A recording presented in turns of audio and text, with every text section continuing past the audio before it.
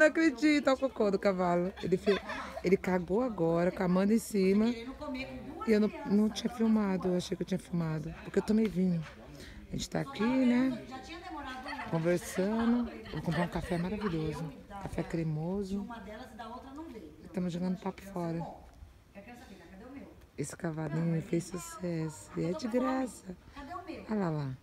Hum, cheiro do cocô. Eu tinha falado pra ele, ó, falta o meu. E ele demorou, aí eu pra ele. Aí quando demorou, eu falei assim, Eu não sei se eu tô igual você. demorou mais um pouquinho mais ele. Quando eu fui pegar o coisa, acho que com raiva porque eu tinha Nossa, a primeira vez. o cavalo Não faz cocô 20 tanto. eu Eu não filmei. Eu pensei que eu tinha filmado.